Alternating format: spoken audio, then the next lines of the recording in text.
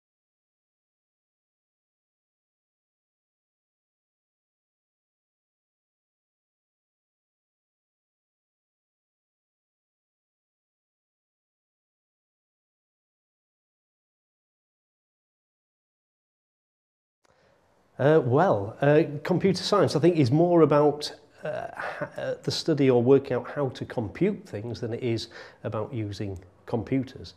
Um, and that's really the, the, the appeal to me for, uh, for it as, a, as an academic school subject is that it's, it's, it's allowing us to, to, to teach children how to think, how to work things out, how to, how to uh, problem solve effectively.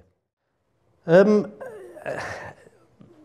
from the, the very early days, really, I, I was um, I was running a, a, an online uh, support group for teachers of the new Aqua um, uh, A-level specification.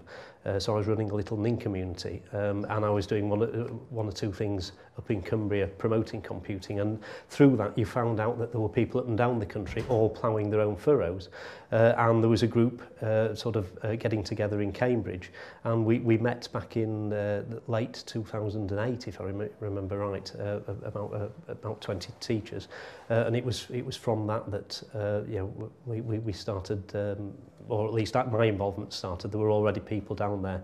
Microsoft Research were, were, were doing things down there, and I got involved uh, from that point on. Uh, and I think we, I think we started the newsletter about a year later.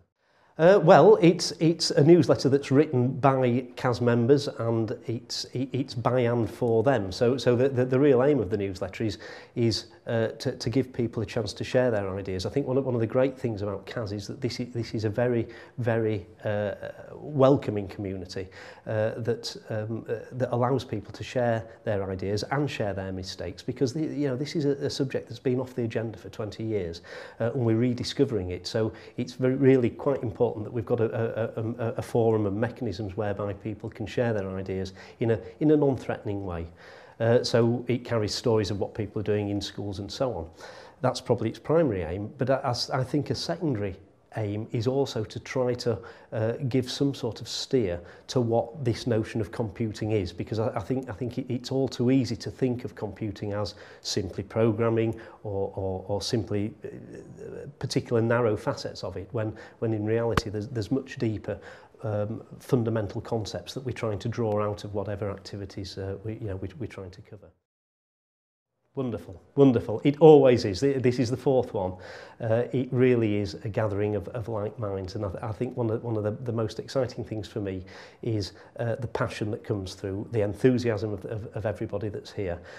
And it's a unique opportunity, and I think Kaz, Kaz is unique in this respect, in that you are getting the, the, the, the fusion of enthusiasts at school level with some real subject experts of, of in higher education and, and industry and it, it's, it's, it's, it's of real benefit to, to those of us in the classroom to be able to mix and mingle and simply talk and gain ideas from those who've got a much deeper grounding in the subject than, than I ever have. I mean, I'm, I'm probably typical of, of many people in schools. I'm, I'm a non-specialist. I came into this almost by accident. I'm a, I'm a design and technology teacher by, by training.